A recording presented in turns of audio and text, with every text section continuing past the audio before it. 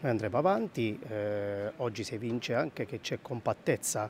per quanto riguarda l'opposizione, per quanto riguarda i partiti di centrodestra, si evince oggi con questa conferenza stampa, noi esistiamo, vigiliamo sugli eh, atti amministrativi come in questo caso, la cosa che meraviglia è che questa commissione è stata bocciata anche da due esponenti importanti di questa amministrazione, da due partiti come quello del PD che è 5 Stelle, che sappiamo tutti a livello nazionale, a livello regionale, sono, è un vanto il loro quella di partecipazione, di trasparenza e poi vediamo che qui a Teramo invece questo non esiste. Io eh, dico se eh, non c'è nulla da, da temere perché non farla eh, noi eh, ribadiamo il concetto, poi questo è un regolamento appunto approvato e fatto appunto dalla, dal primo d'Alberto. Non si evince perché si scappa da, da, da, da alcune domande che noi poniamo legittimamente in base a una sentenza, quella del TAR.